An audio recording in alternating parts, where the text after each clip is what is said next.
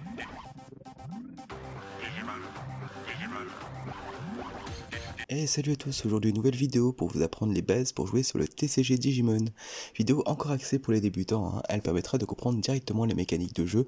Merci à tous ceux qui s'abonnent à la chaîne, que ce soit pour le deck building, mater des matchs ou les tutos, vous êtes tous les bienvenus. Alors je vais passer la partie deck building car j'ai fait une autre vidéo pour ça que vous retrouverez également en description ou directement sur la chaîne, on va surtout parler des mécaniques et des déroulements d'une partie. Chapitre 1, présentation du terrain.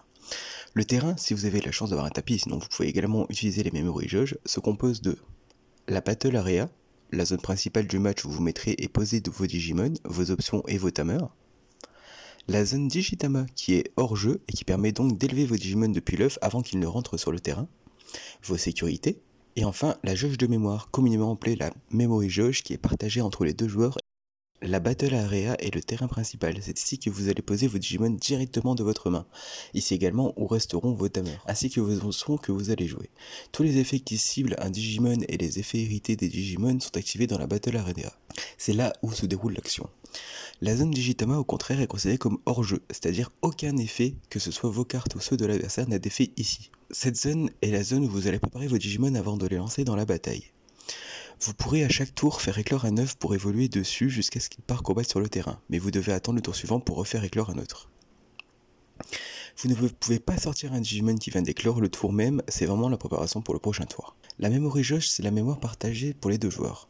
Vous commencez la partie à 0. Selon le coût de jeu que vous devez payer, vous la faites varier d'un côté à l'autre. Par exemple, si vous commencez à poser un Digimon à 2 sur le terrain, l'adversaire commencera son tour à 2. Si la memory jauge est toujours à 0, le tour n'est pas fini et vous devez continuer à jouer. Vous pouvez également passer votre tour, mais dans ce cas, l'adversaire commencera son tour avec 3 de mémoire directement. Attention également à tous les effets qui gagnent de la mémoire qui peuvent passer l'adversaire à 1 puis re à 0. Dans ce cas précis, ce sera toujours votre tour car tous les effets doivent être faits avant de finir votre tour. Le but du jeu sera donc de jouer votre deck tout en laissant le moins de mémoire possible à l'adversaire. Le minimum étant de 1, il est conseillé de laisser que ça euh, tous les tours. Bien sûr, ce ne sera pas toujours possible. Vos sécurités, elles représentent vos points de vie et votre défense. Vous en avez 5 au début du duel. Vous pouvez les augmenter avec certaines cartes et bien sûr attaquer ceux de votre adversaire. Celui qui n'a plus de sécurité pour le protéger et se fait attaquer directement par un Digimon a perdu la partie. Et pour finir, bien sûr, l'emplacement pour votre deck qui, je le rappelle, doit contenir obligatoirement 50 cartes et votre trash, poubelle, défausse ou cimetière. Chapitre 2 Les effets et les hérités. Dans Digimon, vous pouvez cumuler les effets des Digimon afin de les rendre surpuissants par leurs évolutions. Voyons une carte Digimon plus en détail. En haut à droite, vous avez sa puissance indiquée en DP. Elle peut varier d'un Digimon à un autre selon son niveau. En général, les Digimon plus bas niveau ont moins de DP que les niveaux méga. En haut à gauche est le coup en mémoire pour la jouer. Attention, la jouer de votre main pour être posée directement sur la battle area. En dessous, vous avez son coup en digivolution et ce Periki en couleur. Par exemple, pour jouer Paydramon qui est niveau 5, vous devez payer 3 en mémoire pour faire évoluer votre niveau 4 qui doit être soit vert, soit bleu. Au centre, vous avez son effet de carte. Tout en bas, vous avez également son effet hérité qui sera actif une fois ce Digimon évolué en plus haut niveau. En bas au centre, vous avez son nom, qui est quand même très important selon le Digimon. Vous pouvez jouer différentes cartes du même nom, mais pas du même numéro, jusqu'à 4 dans votre deck. En bas à droite, du coup, vous avez son numéro de carte qui est partagé avec les cartes alternatives et rééditions. Et enfin, en bas à gauche, vous avez le niveau du Digimon. Un level 2 est un 9, un Tama, un level 3 Rookie, un level 4 Champion, un level 5 Ultime, et les niveaux 6 ou 7 sont méga. En parlant des niveaux, c'est ce qui nous intéresse ici. Un Digimon peut digivoluer s'il a un niveau supérieur au précédent. Par exemple, vous avez Koromon niveau 2 en zone Tama. Vous pouvez donc l'évoluer en Agumon qui est niveau 3 pour 0 mémoire. Il sera donc maintenant niveau 3, en plus d'avoir son effet hérité, et vous pouvez ensuite, dès que votre mémoire le permet, l'évoluer en Greymon, Metal Greymon et enfin War Greymon, pour le monter au niveau 6. Il existe également des Digimon niveau 7 qui peuvent également évoluer sur les niveaux 6 et ont souvent des effets extrêmement forts. Quand vous évoluez votre Digimon, vous pouvez par défaut piocher une carte. Le but sera donc d'évoluer au plus vite votre Digimon afin de garder un avantage en pioche et des Digimon puissants. Vous pouvez donc cumuler les effets hérités de votre pile de Digivolution afin d'avoir des Digimon aux multiples effets. Reprenons notre cas du Greymon. Avec sa pile d'évolution, Koromon lui fait gagner pioche plus 1 si ce Digimon attaque et qu'il s'appelle Greymon. C'est le cas ici avec Wargreymon. Agumon lui rajoute 1000 d'épée. Greymon, quant à lui, lui rajoute un effet de check de sécurité supplémentaire. En gros, s'il attaque le joueur, il va taper la sécurité et check une carte supplémentaire, donc techniquement l'adversaire en perdra 2 à la place d'une. Metal Greymon qui lui donnera 3000 d'épée supplémentaires. Et enfin War Greymon qui bénéficiera de tous les effets hérités précédents, plus son propre effet de sécurité plus 1 et de ne pas activer les options de sécurité s'il a été évolué dans le terrain. Ce War Greymon aura donc 15 000 d'épée, et s'il attaque le joueur adverse, perdra donc 3 cartes de sécurité au lieu d'une seule. Et en plus, il n'activera pas les effets. Presque tous les decks mis sur des stratégies via leurs effets hérités. Attention tout de même d'avoir la pile parfaite n'est pas toujours possible et encore moins facile à mettre en place. Attention également au coût d'évolution de vos Digimon. Si votre adversaire vous laisse qu'à 1 de mémoire pour jouer votre tour et que vous n'avez qu'un Greymon à placer, le joueur finira par passer le tour et l'adversaire également sera à 1.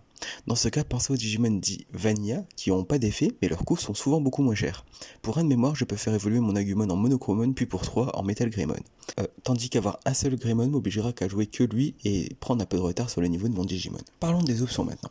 On va commencer par les tamers qui peuvent être joués de votre main pour un coup de pause, mais également de la sécurité. Si un tamer se trouve dans votre sécurité et que votre adversaire attaque, vous pouvez le jouer gratuitement. Cool ça les tamers n'ont aucune restriction de couleur, vous pouvez jouer n'importe lequel dans votre deck. Je vous rappelle que les tamers qui fixent votre mémoire à 3 en début de tour sont vraiment conseillés afin de ne pas être bloqué à 1 de mémoire par votre adversaire comme expliqué plus haut. Cela permettra de dérouler plus facilement votre deck et en plus de bénéficier des effets vraiment top. Reprenons le cas de notre Wargreymon. Si vous jouez en plus taille de votre main, pour un coup de 4, vous allez pouvoir en plus de tous ces buffs check une sécurité supplémentaire sur vos level 6 rouges, ce qui est quand même sympa dans ce contexte. Et en plus, vous allez commencer votre tour tout le temps à 3 de mémoire au minimum. Vous allez donc pouvoir passer du Metal Greymon au Wargreymon directement de la Tama à la Battle Area et donc en plus de bénéficier de l'effet d'évolution du Wargreymon. En plus de ça, vous allez même pouvoir enchaîner avec un petit Omnimon par exemple juste après car vous aurez toujours assez de mémoire pour continuer à jouer. Il existe différents tamers et effets et je vous laisse donc découvrir par vous-même les effets très sympas qu'ils peuvent vous procurer. Enfin, les options, les options quant à elles ont des restrictions de couleur en plus de leur coût. Si vous n'avez pas un Tama, un Digimon ou un Tamer en jeu de la même couleur, vous ne pourrez pas la jouer de votre main. Reprenons le cas du Paydramon. Si vous n'avez que Paydramon sur le terrain et pas d'œuf ni de Tamer vert, vous ne pourrez donc pas jouer votre positron laser de votre main.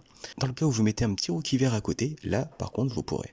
Il existe énormément d'options dans le jeu, des removals, boost de mémoire et autres joyeusetés.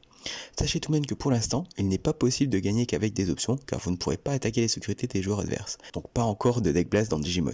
Je vous invite à checker les vidéos de la chaîne afin de voir un match entier souvent commenté par mes soins.